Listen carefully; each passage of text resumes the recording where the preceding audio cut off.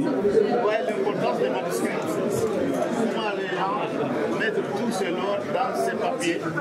Cérémonie de proclamation des résultats du prix de la Fondation Mohamed VI pour les manuscrits africains section Mali, suivi de l'exposition des manuscrits des candidats, a eu lieu ce jeudi 2 mai 2024 à Bamako. Je au nom de la mairie de la commune 7 de Bamako la bienvenue à cette cérémonie capitale de proclamation des résultats du concours sur les manuscrits anciens.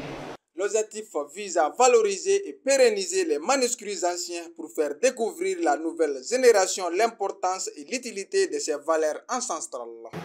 Le premier de Soja a été lancé par la fondation de Mohamed VI de l'espoir de l'espoir de revitaliser et d'honorer les contributions inestimables de nos ancêtres à la science et au savoir à travers la lecture de Nafi, qui est considéré comme le plus ancien des manuscrits, le manuscrit Sarl al-Dourak Ak Lawami sort vainqueur de ce concours. Et nos remerciements vont aussi à la Fondation Mohamed VI, la mère qui est à Fès au Maroc. Le manuscrit Al-Shifa del Qadi Ayad a occupé la deuxième place de ce concours. Nous remercions aussi les organisateurs de ce concours pour les manuscrits partout en Afrique. La troisième place est revenue au manuscrit Al-Mina Al-Hamida Charles Al-Farida, rédigé en 885 du calendrier hésirien.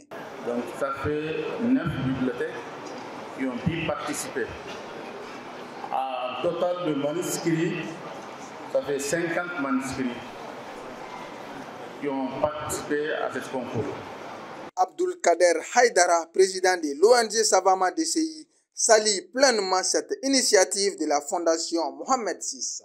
On remercie la, la Fondation Mohamed VI qui a pensé à cette, à cette, à cette communauté très riche de ces manuscrits anciens pour les motiver modifier, pour les aider.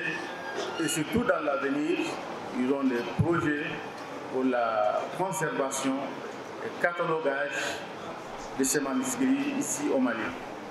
Je voudrais surtout euh, vraiment saluer le, travail qui a été fourni euh, par la Commission. J'ai entendu toutes les villes que vous avez visitées. Je suis là depuis deux ans et demi, je n'ai pas encore visité tout ça. Et j'espère vraiment que malgré la chaleur, malgré le problème de sécurité, que je puisse visiter ça, Chapeau aux initiateurs, vivement la prochaine édition.